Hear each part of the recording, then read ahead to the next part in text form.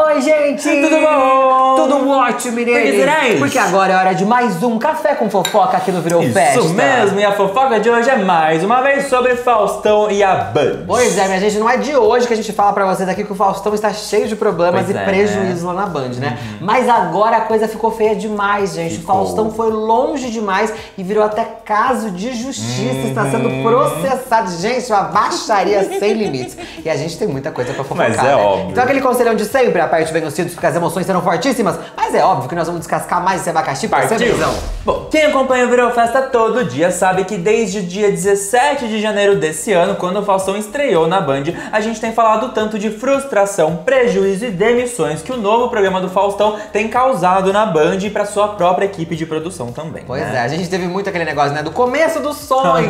Faustão bombava na Globo, Sim. gente, no horário mais concorrido, que é aquela guerra da audiência dos domingos, né? Aí o Faustão todo dia na Band, certeza que ele vai alavancar É, a audiência mas é óbvio. toda. Vai bombar tudo, né, gente? E aí vem a segunda parte do meme, que é o Deu tudo errado, Deu, né? né? Que daí até os famosos não estão querendo ir no, no programa do Faustão, não estão aceitando o convite. Se aceitam, tem alguns que cobram até cachê, Sim. como foi o caso da Vera Fischer, que a gente já contou pra vocês Sim. algumas semanas atrás, que ela cobrou 5 mil reais, gente. 5 pau pra ficar no júri do Faustão lá pra, pra dar uma, uma notinha, um negócio, tomar um Sim. copinho d'água, né? Que o programa, gente, não dá audiência de jeito nenhum Não. e tá longe de dar audiência desejada pelo Faustão, pela própria Band, né? Uhum. E com isso, os anunciantes vão fazendo o quê? Dizendo beijinho, beijinho e tchau, tchau. Não E deu vão- certo! É, e eu não vou botar mais minha marca nessa bagaça! E sai fora, né? Como foi o caso da Coca-Cola, que a gente também tinha contado pra vocês algumas Pois semanas atrás, é. que foi a primeira a deixar o Faustão na mão ali. Falou, ó,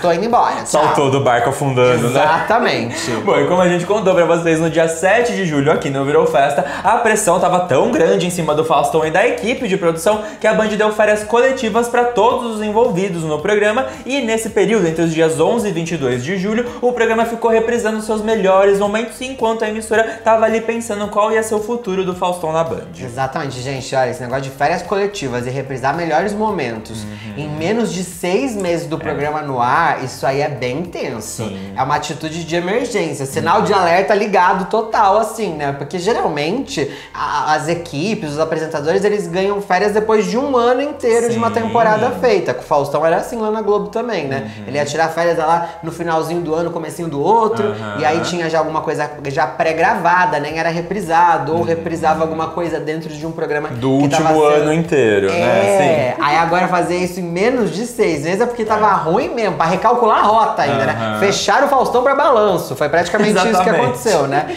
E aí o Faustão e toda a equipe dele, quer dizer, o, o restante, o quem sobreviveu, voltou a trabalhar ontem, né? Inclusive ontem mesmo eles tiveram que gravar um programa às pressas pra entrar no ar, sabe quando? Ontem mesmo, Pois olha, é. porque não tinha o que passar, gente. A gente precisava gravar o programa, pelo amor de Deus. Um programa do Faustão na correria foi assim, né? E também com o tempo do programa já reduzido, né? A, a Band reduziu o programa ali e teve muita gente que não curtiu o que viu, Pois gente. é. Inclusive, se você já tá curtindo a fofoca, não esqueça de clicar no Isso like, aí. clica no dedão que tá cima pra gente poder continuar com o bochicho feliz e contente. Obrigado! Então, mano. Bom, e sobre tudo isso, né? Ontem foi um rebuliço lá na TV Bandeirantes, né? Como você falou, com a volta do Faustão e a equipe ativa, eles precisaram gravar dois programas às pressas, sendo um deles pra ir ao ar ontem mesmo, porque não tinha o que ser exibido às 8 e meia da noite, né? É. Além disso, nos bastidores, o clima era de total incerteza e muito esgotamento por parte do pessoal da produção. Pois é, gente. Segundo a jornalista Daniele Amorim do site Na Telinha, né?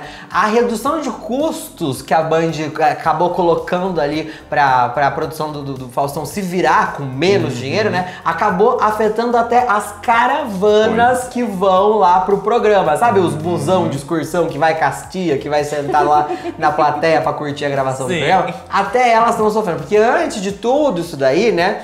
a- as caravanas almoçavam por conta da Band numa churrascaria antes da gravação. Enchia o bucho e daí ia gravar feliz e contente, né? A parte desde ontem, né, não tem mais essa mamata não. Não, né? Na verdade, agora eles ganham um lanchinho, que é aquele saquinho que vem um sanduichinho seco, uma barrinha de cereal, um negócio antes do programa e outro negocinho desse depois que o programa é gravado, né? E as caravanistas, né, que são as chefes das excursões uhum. ali, que levam a galera da plateia, elas chegaram a ser instruídas pela produção do programa para chegarem um pouquinho mais tarde no estúdio. Uhum. Eu achei isso curioso, por que, que chegar um pouquinho mais tarde? Será que é pra cortar algum custo também que a caravana causa ali na banda, é, assim? que gera, né? Porque ah, pensa, sim. o pessoal lá, quanto mais tempo eles estiverem lá, mais água eles tomam, ah, é. mais descarga eles dão nos banheiros, então às vezes até nisso também tem a ver com, com retenção. Você imagina aí, o comentário que rola no grupo das caravanistas? Ai, na Globo era bem melhor, né? Pois é, eu fiquei na churrascaria lá na Globo. Porque às vezes a pessoa não vai nem pelo Faustão. É, lógico que Vai pelos mimos. né? Vai porque vai almoçar na churrascaria, vai dar um passeio, uhum. agora ganha um lanche seco, um refrigerante é, sem então, gelo. Deve, no grupo das caravanistas deve rolar um comentário. Eu sei né? até que lanche elas estão ganhando, porque quando é. a gente ia gravar lá, Masterchef, Aprendiz, Cátia Fonseca, a gente ganhava um lanchinho desse seco. A latinha de refrigerante uhum. sem gelo é difícil. é. é. Ainda segundo a jornalista, outra coisa que chama muito a atenção da Band é o fato de que, diferentemente do que acontecia na Globo, o Faustão na Band tem repercussão quase zero, né? O programa não consegue chamar a atenção do público nem no cotidiano e muito menos na internet, né? Não gera nenhum tipo de discussão nas redes sociais, não se fala sobre o Faustão na Band é, na internet. E isso é né? é muito louco, né, gente? Porque as pessoas antigamente falavam, você viu ontem no Faustão, uhum. menino? Chegava no trabalho, o pessoal tava junto ali na mesinha do café, né? Você viu o Faustão Sim. ontem, o arquivo confidencial, que loucura! Uhum. Nas redes sociais também ficava, né? Imagina, Sim. gente, o Faustão, é, ele tem vários memes nas redes sociais da época dele do Fininita, roupa que ele usava no dia seguinte. É. Ah, custa não sei quanto, é de não sei quem. Era né? tanto assunto, agora ninguém mais não. fala do Faustão, gente. Nem no trabalho, nem em casa e muito menos nas redes sociais. É. Isso é muito mais preocupante do que parece ser. Porque, na verdade, lá na Band, quase tudo que eles exibem fica bombando no Twitter. Por pois exemplo, é. o Masterchef é um sucesso nas redes sociais, uhum. gente. O Masterchef é um dos programas que é mais comentado, assim, tipo, fica pau a pau com Big Brother uhum. quando é assunto em rede social. Até o programa da Kátia Fonseca, a gente toda hora vira meme em rede social. Uhum. O pessoal fica comentando o que ela tá fazendo, discutindo, falando, a receita que ela tá fazendo no programa no Twitter, entendeu? E aí, de repente, o Faustão. O Faustão. É esquecido. Ninguém vê ali o negócio. Parece que não tá passando, né? Uma coisa é, assim mas sabe o que eu tô sentindo? Que às vezes o público que tá assistindo o Faustão que é, é pouca gente tá assistindo e essa galera é mais velha. É. E essa galera não tem o hábito de levar essa discussão para a rede social porque não, não uhum. usa e também não leva pro trabalho porque é aposentada. É. Então não, não Conversa não, com quem tá em casa, é. só ali, né? É tipo eu vocês, a gente conversa ali no sofá. Patati, papapá, é pipipi, papapá. É, no nosso caso a gente compartilha com vocês, né? Com vocês. As pessoas não é, compartilham, né? Exatamente, né? é verdade. Bom, ainda segundo informações da Daniela, o fato do Faustão na Band ser um programa diferente a cada dia da semana também tá gerando desgaste das pessoas que sobreviveram às demissões em massa é. e continuam formando a equipe que restou para fazer o programa. Exatamente. É porque a gente fala assim, ah, o Faustão na Band, o programa do Faustão na Band, né? Parece que é um programa só. Então, ah, a gente tem que lá, o pessoal da produção faz lá o programa do Faustão. Uhum. Só que não, na verdade, esse rótulo de Faustão na Band é o que empacota ali cinco programas completamente é. diferentes, né? Porque cada dia da semana vai ao ar um programa diferente do Faustão, né? Por exemplo, de segunda é Pizzaria do Faustão. Sim. Às terça tem o Churrasco do Faustão. Uhum. Na quarta tem Na Pista do Sucesso. Na quinta tem o Arquivo Pessoal, que é o arquivo confidencial, lá, né? que a gente sabe. Depois também tem o Granão Fama e também tem a Hora da Decisão, que é um reality musical que o Faustão tá fazendo. Sim. Então, gente, é a mesma equipe para produzir cinco programas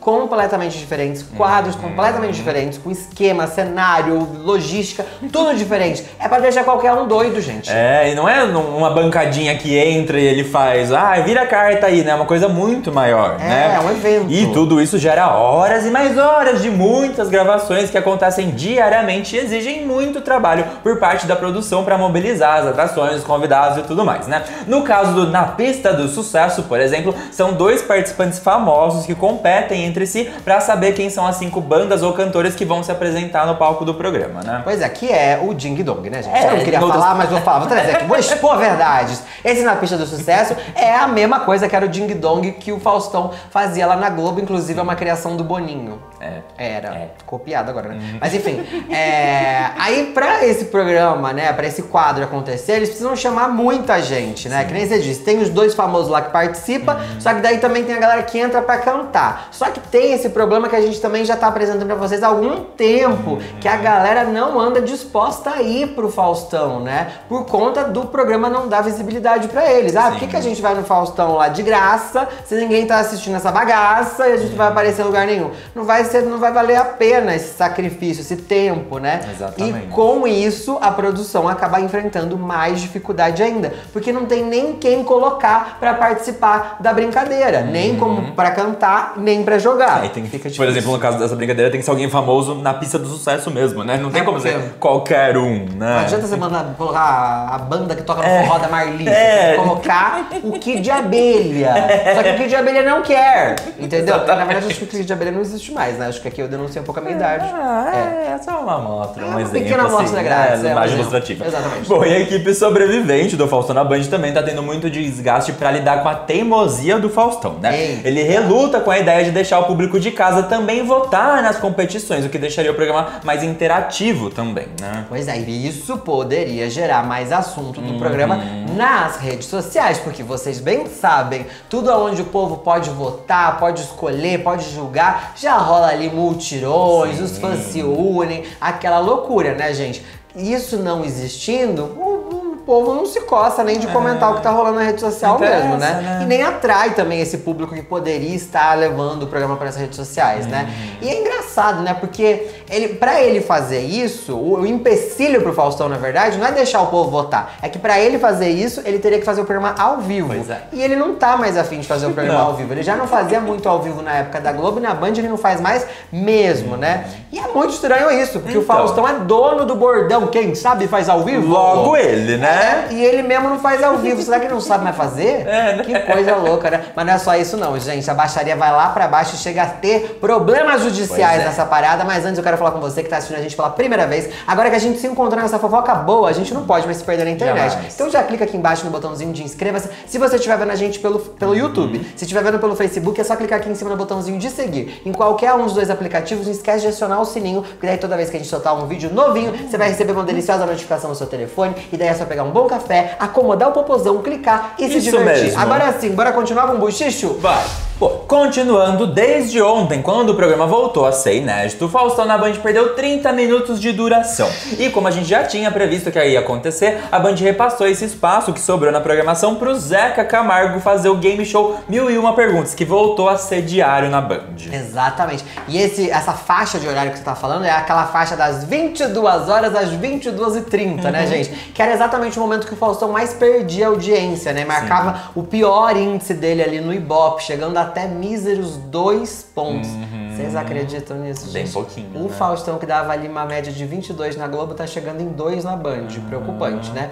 E, e essa, esse trecho do programa que ficava com essa audiência baixinha acabava atrapalhando na média final do programa, né? Que é quando eles pegam ali mais ou menos o tempo que o programa ficou todo, todo ali no ar, naquela faixa, e faz uma conta. E ó, a média deu tal, né? Pega do mais alto pro mais baixo e a- encontra a E média. geralmente o início era melhor que dois pontos, Isso, né? e daí como a- o final era muito baixo, a média ficava mais baixa. Sim. Então isso, na verdade, né? Ah, eles não gostam muito do Faustão, tiraram o horário do Faustão, que muita gente tava reclamando ontem, né, disso. Não é isso, gente. É que, na verdade, eles tiraram esse trecho que o Faustão afundava pra que a média final do programa ficasse mais alta, pra ficar mais bonito para quê? Pro mercado publicitário, Exatamente. que é quem compra os espaços publicitários dentro do programa que estão vazios e não estão sendo vendidos. E aí sacrificaram o Zeca Camargo, né? Ah, Zeca, vai nesse horário aqui na audiência. Ah, aqui, esse horário aqui nunca presta. Vai passar pra quem?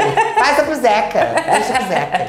Bom, Zeca que fique com a derrota. A jornalista Daniela Amorim também lembrou um ponto muito importante, né? Que É. até 2021, o horário que hoje é do Faustão na Band era alugado para o Show da Fé do R.R. Soares, que pagava cerca de 6 milhões de reais mensais para poder realizar os cultos nessa faixa da programação da Band, né? E aí, com a chegada do Faustão, esse dinheiro parou de entrar nos caixas da Band e ao mesmo tempo o programa do Faustão não tá dando lucro nenhum, né? Muito pelo contrário, tá dando prejuízo para a emissora. Pois é, minha gente. Olha só, a Band trocou 6 milhões de reais por mês por prejuizão do Faustão. Gente, 6 milhões a menos todo mês é muito dinheiro. muita grana. E fica pior ainda quando você tem 6 milhões a menos e um monte de boleto vencendo porque o Faustão não tá dando conta de pagar, né, gente? Aí o buraco fica muito mais embaixo. Porém, tem vantagem. Nem tudo está perdido para Não. Fausto Silva, minha gente. Porque é o seguinte, quando o R.R. Soares comprava o horário que hoje é do Faustão para fazer o show da fé, a audiência da Band ficava no famoso traço. Famoso e muito temido traço. Sabe o que significa quando é o traço? É o zero. Ninguém tá vendo. A pessoa pagava 6 milhões para ninguém ver ele, gente. Isso que é ter dinheiro, esse R.R. Pelo amor de Deus. Então, assim, agora o Faustão ali, ele não dá dinheiro, mas ele dá audiência. Porque o Faustão consegue chegar ali até nos 4 pontos de audiência. A longo prazo, para uma emissora de TV, é melhor você ir garantindo É. audiência do que ter um dinheiro fácil, mas que te zera a audiência. Porque você precisa da audiência para gerar lucro lá na frente, né? Então não deixa de ser, meu Deus, por que que eles estão fazendo isso? Volta os cultos. Não. A longo prazo vale mais a pena ter o Faustão do que os Pro cultos. resto da programação, assim, né? Exatamente. Bom, mas mesmo assim, os números que o Faustão garante pra Band no Ibope ainda estão longe de chegar na expectativa que a emissora tinha com a contratação do Faustão, né? É. Há boatos que a Band até comemorava, né, a chegada do Faustão, porque eles acreditavam que teriam condições de brigar pelo segundo lugar de audiência, o que na verdade tá bem longe de acontecer na realidade, O né? que, na verdade, não mudou nada. Não, porque a? Band, com ou sem Faustão, ela continua em quarto lugar ali. Sim. O quarto lugar é da Band, ninguém tira, né? Às vezes, tipo, Zig Zag Arena já tirou. a Fernanda Gentil já tirou esse quarto lugar da Band, mas na verdade levou a Band pro terceiro, o que é bom. É. Na verdade, a, a Fernanda Gentil é, é, um, é um é brother da Band, né? Mas, gente, assim, não, não- no final das contas, todo aquele barulho de Faustão vai voltar pra Band, a Band contratou Faustão e não sei o que, e a Band, Faustão, né? Não fedeu nem cheirou. Não, não Porque é. não é um aconteceu barulho, nada. dinheiros e milhões de É. reais pra nada. E a Band continua na mesma, na mesma casinha do jogo, Você não mudou imagina nada. ser um chefão da Band nessa hora, você olhando isso aqui. Acho que você fica em desespero, né? Daí você começa a olhar pra, pra, pra- até pra Fátima Bernardes e fala. Às vezes ela ia Ó, ser melhor, a gente devia ter pegado ela. É. Bom, e mesmo vendo espaços de publicidade vazios, sem patrocinadores e tendo que fazer demissões em massa pra cobrir a conta e evitar que o Faustão mergulhe ainda mais no prejuízo, a Band ainda tá interessada em manter o Faustão no programa Faustão na Band no ar diariamente, o que agora meio que só tá dependendo do próprio Faustão. É, ele tá teimoso pra caramba, Ele tá, né, né? gente? O que a gente sabia a respeito dessa história, né, é que ele ia voltar pros domingos. Isso já era uma coisa meio certa, a gente tinha contado isso pra vocês, se não me engano, no dia 7 de julho. Nossa, talvez. pode ser que eu tenha achado também a memória esteja falhando. Mas era, era essa a história. E isso só podia acontecer a partir do ano que vem, né, que a gente falou, porque durante esse ano ele não pode fazer programa de domingo em nenhuma emissora, porque existia uma cláusula contratual no contrato que ele tinha com a Globo, que depois dele sair da Globo, ele tinha que passar um ano sem fazer programas aos domingos em nenhuma emissora, né? Então ele pode resolver isso. Mas o que me espanta agora é da Band não querer mais que isso aconteça, deles preferirem até o Faustão todo dia ali, porque às vezes a opinião deles é assim: se o Faustão for pro domingo, pode ser que piore essa situação toda. né? Porque vocês imaginam, gente, o Faustão. O rei do Domingão vai pro domingo da Band e fica pior pra ele ainda. Tipo, ele perdendo pro Rodrigo Faro. Como assim? É, as chances disso acontecer são enormes, Enormes, né? enormes. Porque, gente, aí, aí chega lá o convite pra Valesca Popozuda. Valesca, o pessoal do Domingão com o Hulk quer convidar você aqui. No mesmo dia chega pro Faustão. Aonde vocês acham que a Valesca vai aceitar o É, convite, gente? Eliana, Rodrigo É, Faro, porque né? a, mai- a visibilidade é maior. Então, os melhores artistas que querem sempre mais visibilidade, eles sempre vão na melhor vitrine. E essa vitrine não tá sendo Faustão na Band, tá sendo qualquer outro programa de uma emissora mai- um pouco maior, né? Então, até o Rodrigo Faro chega a ser lucro nessa Pois hora. é. Às vezes a Band tá, tá tipo. Não vamos fazer Não isso. vamos passar mais vergonha, né? Deixa pra lá. Se a gente se manter aqui no de segunda a sexta de noitinha, vai, vai segurando essa audiência porque não diminuiu, Aham. se estabilizou, não cresceu, mas ficou ali. Então tem um público que tá certo todo dia e a gente não corre risco de passar vergonha com o Faustão no domingo. Ia ser bem feio, né? É. Bom, e se não bastasse tudo isso que a gente contou pra vocês até agora, a Band e o Faustão também estão sendo alvos de um processo por acusação de plágio. Mamma mia! Segundo a Fábio Oliveira, a jornalista Patrícia de Moraes alega que em 2021 ela apresentou pra Band o projeto de um reality show musical chamado The Best Brasil e que a emissora implementou a ideia no programa do Faustão com o nome de Hora da Decisão. Que é aquele quadro do Faustão, né? Que é um reality show musical, né, gente? Pra selecionar o novo sucesso da música sertaneja. Sim. Que o cara que ganhava ganhar um contrato com uma gravadora. Aquela história, né? Sim. A Patrícia, que é a do The Best Brasil, ela disse que quando ela apresentou a ideia do The Best Brasil pra Band, que eles gostaram e que as negociações estavam caminhando. Só que de repente não rolou mais. Ela deve ter pensado: ah, não deu certo. Mudaram não de vão- ideia, não tem dinheiro. É, não vão fazer mais e tá tudo bem. Mais pra frente eu vendo essa ideia pra outra emissora, né? Pois muito bem. Patrícia estava na casa dela num dia assistindo Faustão e ela vê o Faustão anunciando a hora do desafio. O que era a Hora hora da do decisão. desafio? A hora da decisão. O que era a hora da decisão? O The Best Brasil, Sim. que ela mesminha criou. Segundo Patrícia, foi um choque e ela disse que, peraí, isso tá todo errado. Porque não pagaram pra mim os direitos das coisas e fizeram um programa ali com outro nome, com o Faustão apresentando. A hora a da minha decisão. ideia, né? Exatamente, usaram a ideia dela, só trocaram o título. Em vez de The Best Brasil, botaram a hora da decisão. Embora muitas vezes eu confundo pra hora do desafio. E aí, gente, o que aconteceu? Ela foi lá e entrou na justiça mesmo. E agora ela tá pedindo, gente, mas é pouco.